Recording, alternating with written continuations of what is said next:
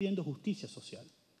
Y no solo al resto de la sociedad, también al Estado le está pidiendo justicia social. Porque un Estado que despilfarra, que desparrama, que tiene tantos recursos y, esa persona no le ve el caso a la tostada, bueno, allí hay un tema que, que hay que examinar. Y por eso digo que primero justicia es todo un programa.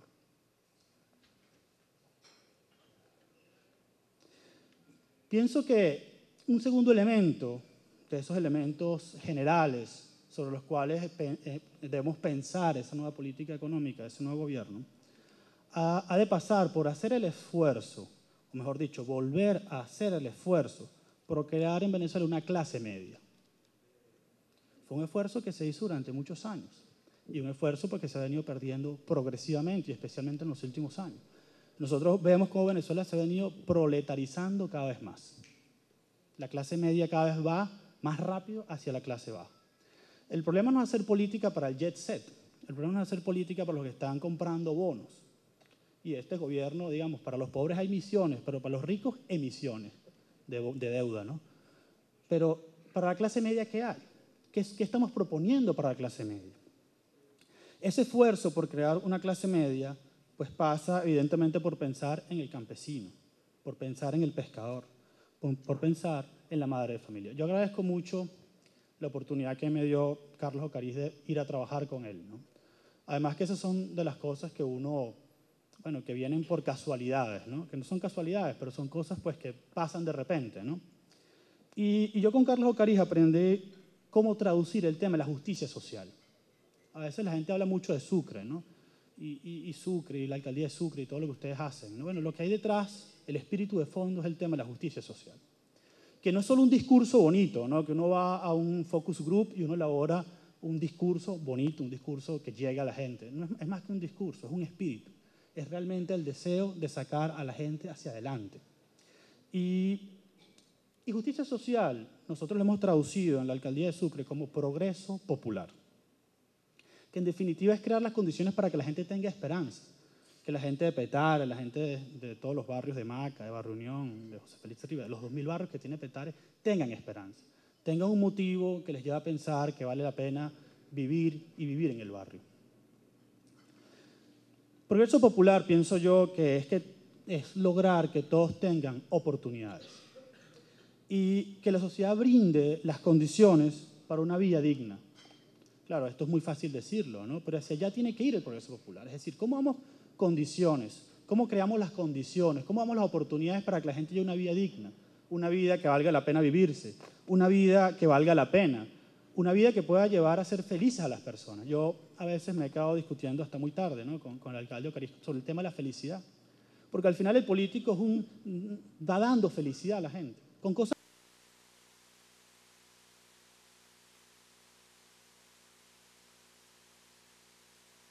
por ejemplo, la moneda no pierda valor año a año. Yo me acuerdo una vez leyendo un libro de Hayek que se llama La desnacionalización del dinero. Leí el libro, me pareció sumamente interesante sobre el papel de los bancos centrales. Y en el apéndice estaba el ranking de las mejores monedas del mundo. Esto es finales de los 70. Bueno, la tercera mejor moneda del mundo era el bolívar venezolano. Dice, bueno, eh, eh, por esa misma fecha Foreign Policy sacó, eso fue como el 2005, el ranking de las peores monedas del mundo. ¿no? Y actualmente el bolívar es de las peores monedas del mundo. Y con la inflación actual seguramente es la peor moneda del mundo. Entonces, bueno, ¿qué ha pasado? No? ¿Qué ha pasado con, con, ese bolívar? ¿Qué ha pasado con ese Banco Central? Evidentemente aquí se requiere un gran rescate de las instituciones, especialmente del Banco Central. Pero en cualquier caso, más que hablar de la ley del Banco Central y de la independencia del Banco Central, y digamos, podríamos hablar de muchos arreglos institucionales aquí acerca del Banco Central, lo importante es pensar en la madre de familia venezolana que va al mercado y que no sabe si sus bolívares van a poder comprar lo mismo que la semana pasada.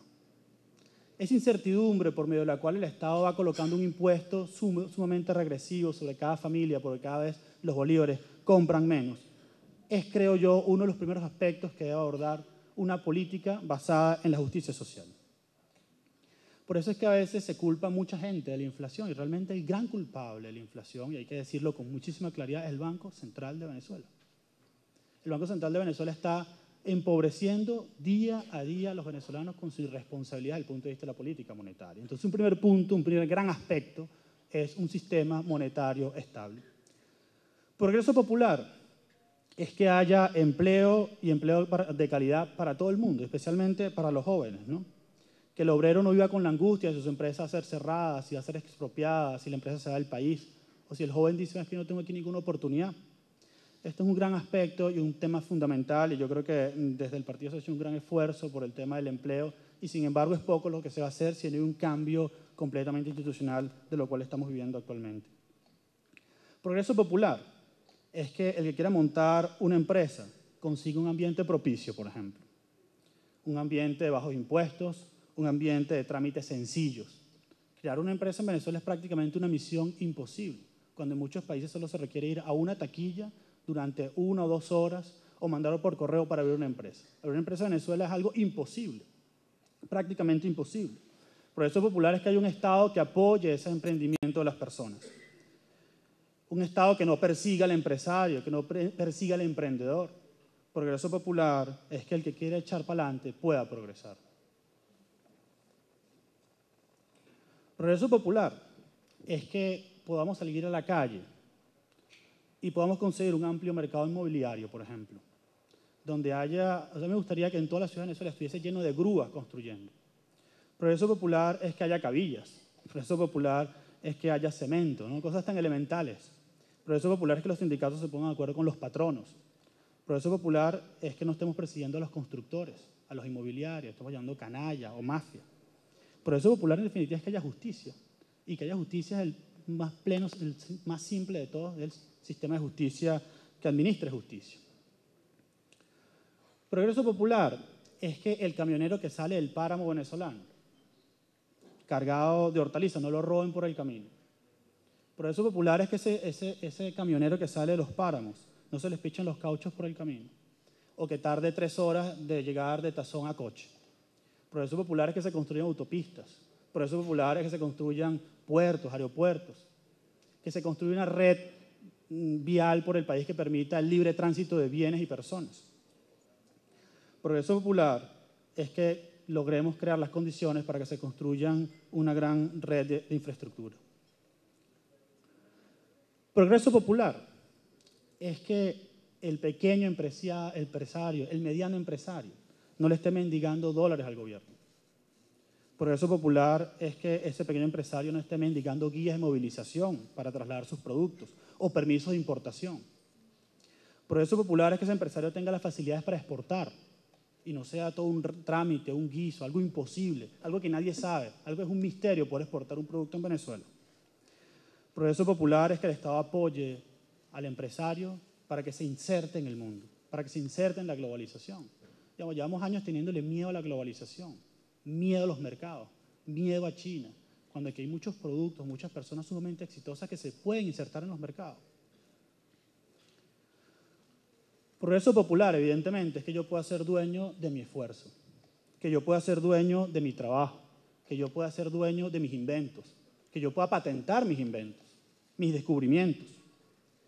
Progreso popular, evidentemente, es que mis hijos puedan tener lo que yo no tuve, pero que también que puedan tener lo que yo tuve, porque lo pueden heredar porque existe la propiedad. Por eso popular es que hay oportunidad para todos. Por eso popular es que subamos a los de abajo sin bajar a los de arriba. Y esto es un tema sobre el cual nos podríamos extender muchísimo. Por eso popular también es que el venezolano que quiera participar del negocio petrolero tenga la, oportunidad de echarle pichón.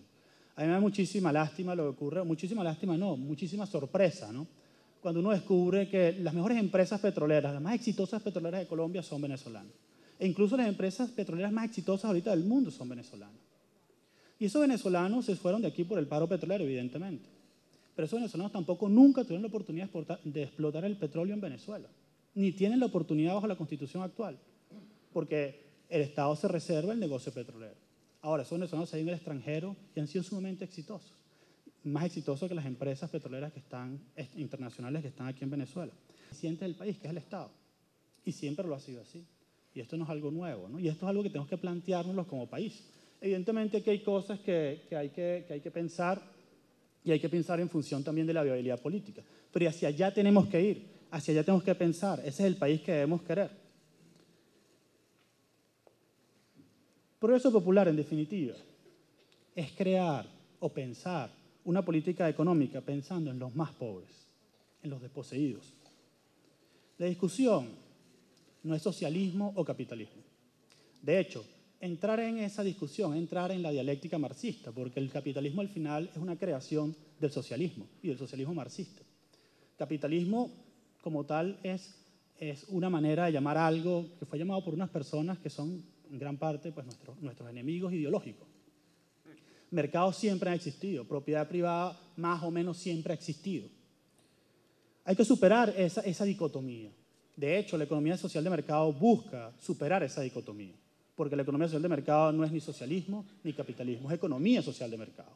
Es aceptar el mecanismo del mercado sin hacerse esclavo del mecanismo del mercado. La gran tarea, evidentemente, es rescatar la libertad, rescatar la propiedad y también rescatar la igualdad. Pero pienso yo que lo más importante que está sufriendo el pueblo venezolano es la injusticia económica por parte de grupos y por parte del Estado los más pobres ganan demasiado poco y son los más golpeados por la inflación, los más golpeados por la recesión. Y esa voz no es escuchada muchas veces en los grandes medios de comunicación.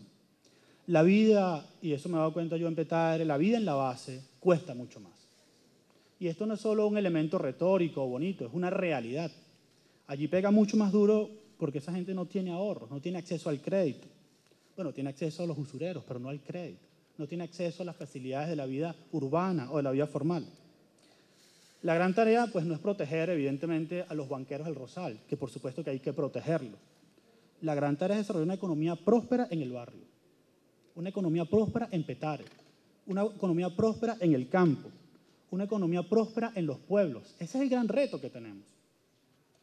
Ante la disyuntiva de si es la oferta, es la demanda, es el Estado, es el mercado, muchas veces debemos responder que, que la alternativa son las comunidades. Y yo creo que allí José Luis López, que tiene el turno de la palabra después de mí, puede profundizar mucho lo que hemos hecho en Sucre. ¿no? A veces, si es el mercado o es el Estado, no, a veces son las comunidades. Y por eso hemos transferido ambulatorios, escuelas. Yo creo que se pueden transferir muchos barrios adentro de las comunidades. Los mercados se pueden transferir a las comunidades. Incluso se debe dar a las comunidades la oportunidad de cobrar sus propios impuestos, de hacerse viables por sí mismas, de hacerlas cada vez más fuertes. Porque el tema no es solo debilitar al Estado, sino hacer más fuertes las comunidades. Y eso es parte de lo que hemos venido haciendo en la alcaldía de Sucre. Estas son algunas reflexiones simplemente sobre la tarea que en mi opinión nos toca. Son solo 20 minutos y es difícil abordar o profundizar en cada uno de ellos. No quise venir a hablar aquí de Estado de Derecho, de reglas claras, de cumplimiento de contratos, de libre fluctuación de precios, de déficit ceros y este tipo de cosas que son muy típicas de la macroeconomía, pero están muy, muy alejadas del ciudadano medio, del ciudadano común quise hablar sobre un programa basado en la esperanza para el venezolano común.